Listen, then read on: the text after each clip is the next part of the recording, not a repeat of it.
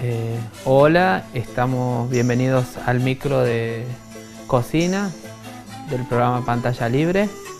Bueno, hoy más o menos les quiero contar, queremos hablar más o menos de los tipos de alimentaciones más comunes los, el tipo de cultura en general relacionado con la comida.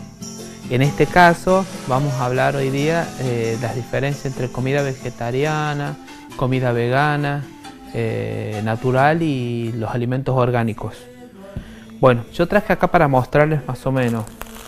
Eh, existen básicamente una diferencia entre los vegetarianos. Hay niveles vegetarianos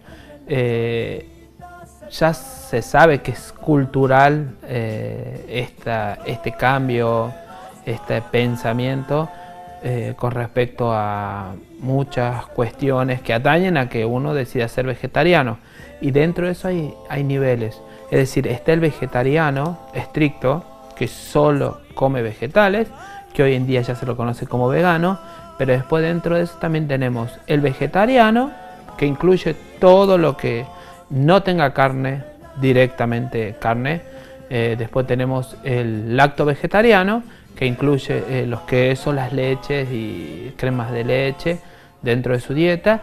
Y el lacto ovo vegetariano, que incluye no solo las leches y los quesos y todo, sino también los huevos. Eh, bueno, eso sería básicamente las diferencias entre vegetarianos. Ahora aparece una nueva clasificación que no es nueva, simplemente que es lo que se fue definiendo culturalmente justamente, que es el vegano. Bueno, la diferencia entre el vegetariano, los vegetarianos comúnmente, eh, ven, como ven acá, tenemos las semillas. Eh, han incluido más el estricto, el vegetariano estricto, ya tenemos el sésamo integral, eh, las chías, eh, arándano, amaranto. Son eh, semillas sumamente importantes y necesarias. Son lo que más cubriría a, la alimentación reemplazada por la carne, la, alimentación que no tenemos por ahí, no llegamos a completar las proteínas y las vitaminas que son propias de la carne. Las semillas son casi el, eh, encargadas del 70% de eso. El otro 30% se podría decir que se cubre con las frutas secas, que son avellanas, nueces, el maní.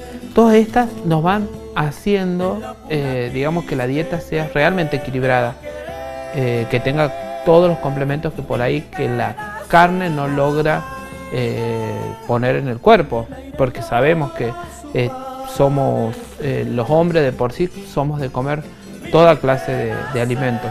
Entonces, la ausencia de la carne, estas cosas nos van reemplazando. Eh, digamos, estos tanto semillas como las frutas secas. Por otro lado, tenemos las harinas.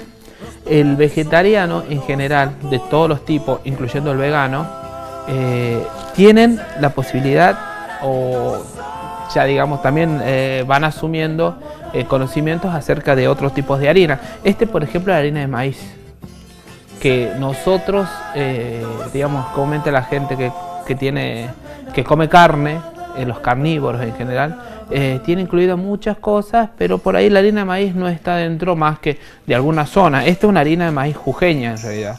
Esto se prepara allá. De todas maneras, en todas las zonas, desde México hasta el norte argentino, se utiliza la harina de maíz para muchas cosas como arepas, sopas majadas y otras cosas. Bueno, el vegetariano por ahí desarrolla más esto.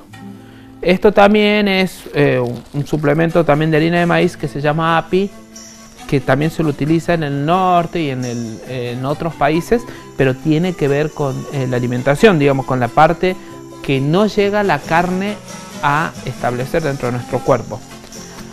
Por otro lado, tenemos eh, otra cuestión que viene a ser eh, la gente tanto vegetariana como vegana eh, van detrás del alimento orgánico.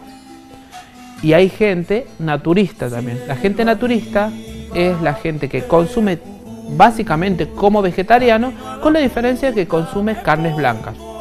El naturista utiliza la dieta, eh, digamos, la alimentación en general como remedio. En este caso, la gente orgánica utiliza este tipo de productos. Este tipo de productos son del norte.